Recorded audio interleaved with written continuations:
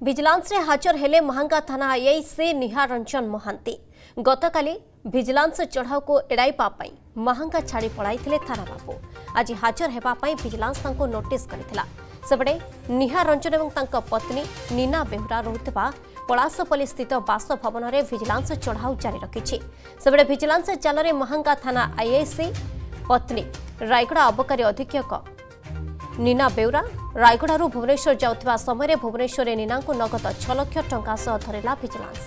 ଭିଜିଲାନ୍ସକୁ ସନ୍ତୋଷଜନକ ଉତ୍ତର ଦେଇନଥିବା କାରଣରୁ ନୀନାଙ୍କୁ ଗିରଫ କରାଯାଇଛି।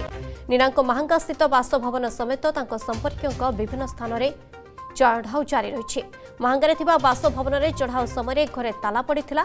ତେବେ ଭୁବନେଶ୍ୱର ଭିଜିଲାନ୍ସ ଡିଭିଜନରେ ମହାଙ୍ଗା ଥାନା ଆଇଏସ୍ସିଙ୍କୁ ହାଜର ହେବା ପାଇଁ ନିର୍ଦ୍ଦେଶ ଦିଆଯାଇଛି।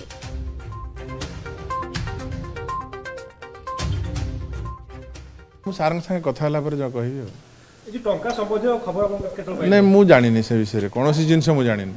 ପରେ ଆପଣ ରେସିଡେନ୍ସ ତାଲା ପକେଇଦେଲେ ନାଇଁ ନାଇଁ ମୋର ଷ୍ଟାଫ୍ ତ ଅଛି। ମୋର ଷ୍ଟାଫ୍ ସବୁ ଥିଲେ। ମୋତେ ତ କେହି ଜଣେଇ ନଥିଲେ। ମୋତେ ଯେତେବେଳେ ଜଣେଇଲେ ମୁଁ ଆସିଛି ଦେଖା କରିବାକୁ। କିଏ ଯୋଗାଯୋଗ କଲା?